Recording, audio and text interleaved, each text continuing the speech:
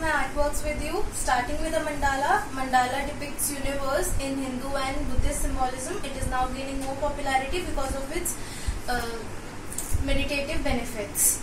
Moving towards sunset. Sunset depicts end of the day and to take a break and relax and be grateful. They are very peaceful. This was my first uh, canvas and that too of sunset.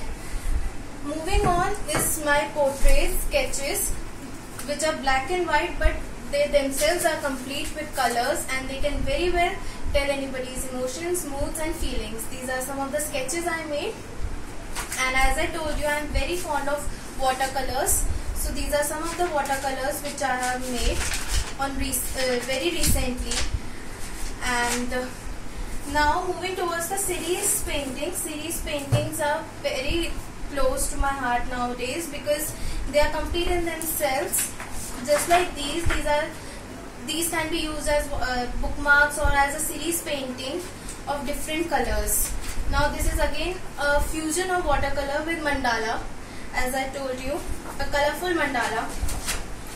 Now this was specially made by me for COVID-19 as the whole world is suffering from COVID-19 this just shows the rays of hope that yes we can fight COVID-19 together and we'll be out of it very soon. And yes, we are back with the mandala. This is a very decent mandala. I have made a colorful mandala. And thank you. That's all for right now. Uh, that's all for today. Have a nice day. Thank you.